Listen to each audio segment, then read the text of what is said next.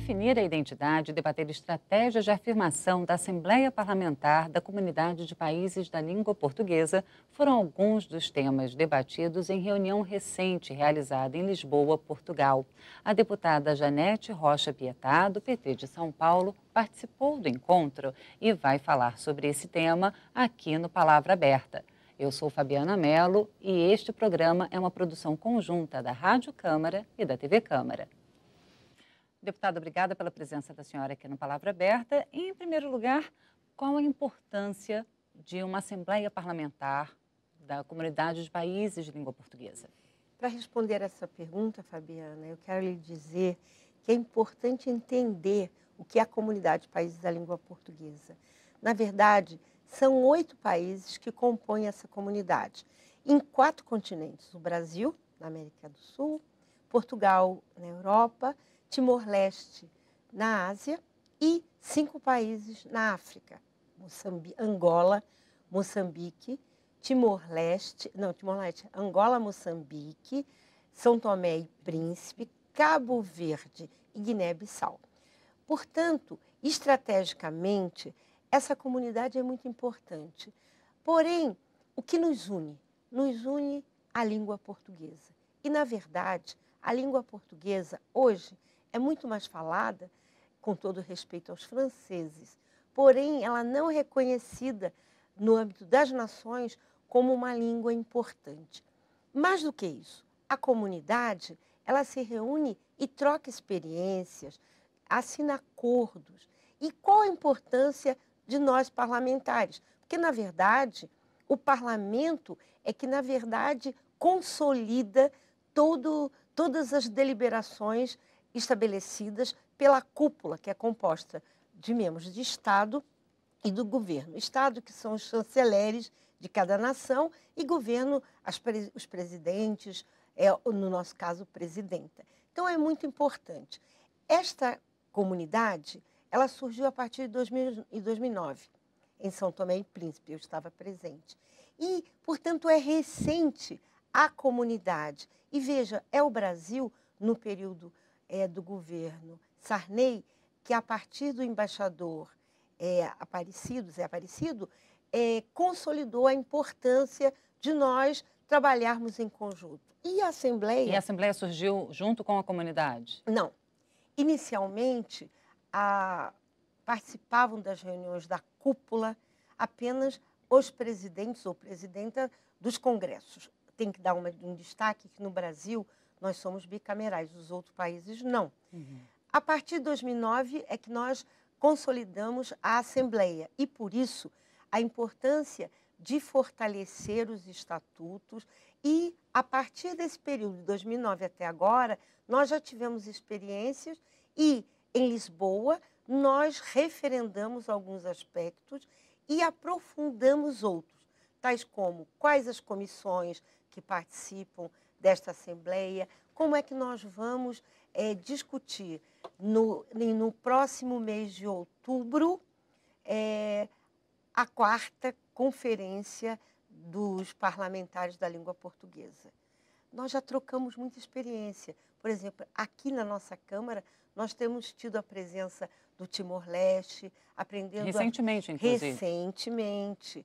Nós trocamos experiência, mas mais do que trocar experiência, o mais importante é entendermos que essa comunidade é, e o parlamento é importante reforçar que essa comunidade dos países da língua portuguesa é estratégico no âmbito das nações. É, essas experiências, o que elas podem trazer para o Brasil em termos de relações internacionais e para o parlamento brasileiro também? Em primeiro lugar, eu gostaria de ressaltar que, na verdade, os países sempre têm relações bilaterais. Vou dar um exemplo concreto. Portugal já está trabalhando é, a questão de livre circulação é, de, de, todos os, é, a, toda a população dos países da língua portuguesa. Isso significa que, ao nível dos aeroportos e, quem sabe, futuramente, quer dizer, há uma liberação. Isso é uma coisa importante. Mas mais do que isso, todos Importantíssima, os né? É importantíssimo. Portugal já tem no seu aeroporto o, é, pessoas, é, passageiros da comunidade da língua portuguesa. Assim como o Brasil tem o Mercosul. Né? E o que é importante para nós? O importante é que vários países, como Angola, Timor-Leste, o próprio Brasil, já têm esse potencial do petróleo, do pré-sal aqui no Brasil. E nós estamos querendo discutir como é que nós podemos, nessa, nessa nova situação e é, no contexto internacional, podemos trocar experiência, nos fortalecer e muito mais, sermos, cada um no seu continente, uma, uma porta, uma abertura para maiores intercâmbios. Então, desse encontro em Lisboa, é, foram definidas as comissões?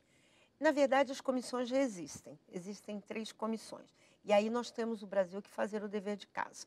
Nesse sentido, nós e, precisamos de. E qual é esse dever de casa, Sim, deputada? O Brasil é o país que, que menos está participando no sentido de regulamentar é, o PR, um projeto de resolução número 3, que está para ser agora aprovado, possivelmente ainda entre setembro e outubro, é, a, a, a constituição de uma comissão mista para representar o Brasil. Porque, na verdade, hoje, quem representa o Brasil nessas relações é praticamente somente a Câmara.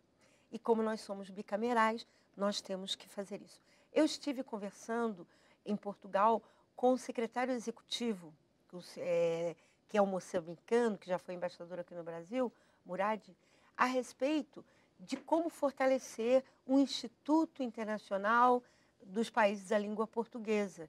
Quer dizer, é o instituto é uma forma de nós estabelecermos relações, porque existem diferenças linguísticas também. Mas muito mais do que isso. Por exemplo, o Brasil tem em Redenção uma universidade, uma faculdade que trata da questão de relações entre os outros países. Né?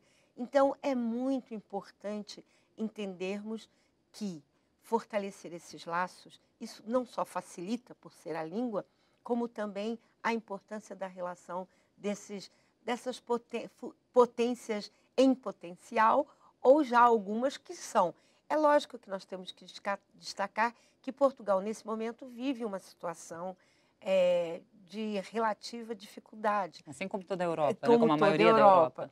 Mas o Brasil, apesar da crise, não está nessa situação. Os países africanos, Moçambique, Angola, estão cada vez mais se fortalecendo. Então, é muito importante que a gente entenda que a relação parlamentar ela deve não só aprovar o que o executivo nos apresenta, como também estabelecer trocas e consolidar projetos que possam fortalecer as nossas nações. Então, próxima reunião agora no início de outubro. Vai ser conferência. Agora é ah, é. conferência. É. E na conferência nós vamos colocar em pauta. Mas uma questão que foi muito discutida em Lisboa é que nós não aceitamos que a AP, que é a Assembleia Parlamentar, seja apenas um órgão consultivo. Nós consideramos que o parlamento deve ser um órgão integrante desta comunidade. Deputada Janete Rocha Pietá, do PT de São Paulo, muito obrigada pela sua participação aqui no Palavra Aberta. De nada. E eu agradeço também a você que nos acompanhou pela Rádio Câmara ou pela TV Câmara. Até uma próxima oportunidade.